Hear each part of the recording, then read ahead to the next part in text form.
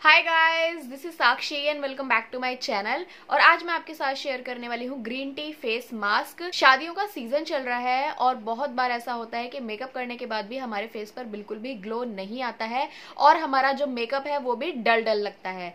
तो उसको फिक्स करने के लिए आज मैं आपके लिए लेकर आई हूँ इंस्टेंट ग्लो वाला फेस मास्क अगर आप इस फेस मास्क को मेकअप करने से पहले एक बार यूज़ करेंगे तो आपके मेकअप का बेस बहुत अच्छा बनेगा और आपके मेकअप का ग्लो भी बहुत ही अच्छा आएगा। तो आइए अब मूव ऑन कर लेते हैं अपनी वीडियो की तरफ़। लेकिन उससे पहले अगर आप लोगों ने मेरा चैनल अभी तक सब्सक्राइब नहीं किया है तो जल्दी से कर लीजिए सब्सक्राइब जो कि बिल्कुल फ्री है। Now move on to video तो फेस मास्क बनाने के लिए सबसे पहले हमें ज़रूरत है ग्रीन टी की। आप कोई सी भी ग्रीन टी ले सकते हैं। मैंने यहाँ ऑर्गेनिक ली है। ये हंड्रेड परसेंट ऑर्गेनिक है। बिल्कुल भी साइड इफ़ेक्ट नहीं होगा। अगर आपको इफ़ेक्ट नहीं करती है तो कोई भी साइड इफ़ेक्ट भी नहीं होगा इससे। तो हो सके तो हर्बल ही ले। उसके बाद हमें ज़रूरत है हनी की। मैंने यहाँ एक से डेढ़ चम्मच हनी लिया है। किसी भी कंपनी का आप ले सकते हैं। और हमें इसको मिक्स कर लेना है अच्छे से। अब हनी डालने से हमारा जो फेस मास्क है वो थोड़ा सा चिपचिपा हो जाएगा ज़्यादा ही। तो उसके बाद हम इसमें डालेंगे थोड़ा सा रोज़ वाटर और इस सारे मिक्सचर को मिक्स कर लेंगे। रोज़ वाटर हमें बहुत ज़्यादा नहीं डालना है, कम ही डालना है, एक से दो चम्मच, ताकि ये नॉर्मल कंसिस्टेंसी में आ जाए और हमारे फेस पर अच्छे से अप्लाई हो जाए। अब ये सारा मिक्सचर मैंने मिक्स कर लिया है और हमारा अब फेस मास्क बनकर रेडी है। अब हमें ये करना है इसको अपने फेस पर अप्लाई मैं अपना फेस ऑलरेडी वॉश कर चुकी हूँ। मैं आपको हर बार कहती हूँ कि जब भी आप होम रेमेडी लगाते हैं तो हमेशा वॉश कर कर ही लगाएँ। इससे इफ़ेक्ट ज़्यादा अच्छा आता है।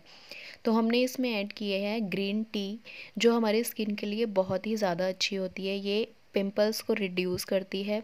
उन्हें निकलने नहीं देती। एंटी एजिंग है और अपनी आइज़ के आसपास भी आप इसको लगा सकते हैं, कोई भी साइड इफ़ेक्ट नहीं होगा। और जितनी भी थकान की वजह से, स्ट्रेस की वजह से भागा दौड़े की वजह से हमारी स्किन डल हो जाती है, उसे इंस्टेंटली ग्लो देती है, यानी कि ये हमारे स्किन के लिए और हेल्थ के लिए बहुत ही ज़्यादा बेनिफिशियल है। हमें इसको पूरे फेस पर अच्छे से लगा लेना है। रब नहीं करना है रब करने से फेस छिल सकता है तो इसको हमें नॉर्मल हैंड से या फिर आप ब्रश की हेल्प से भी लगा सकते हैं। और हमने इसमें मिक्स किया है हनी जो हमारी स्किन को मॉइस्चर देने का काम करता है। अगर आपकी स्किन बहुत ही ज़्यादा ऑयली है तो आप इसमें दही यानी कि योगर्ट भी ऐड कर सकते हैं टोटली ऑप्शनल है। दस मिनट तक हमें इसको लगा कर रखना है। अगर आपको इचिंग होती है तो आप इसको धो लें। वैसे बिल्कुल भी इचिंग नहीं होगी। तो 10 मिनट तक इसको लगाने के बाद हमें इसको नॉर्मल वाटर से वॉश कर लेना है। और उसके बाद हमें पैड ड्राई करना है, यानी कि रब नहीं करना है। अपने फेस को क्लीन टावल से जस्ट पैड ड्राई करना है।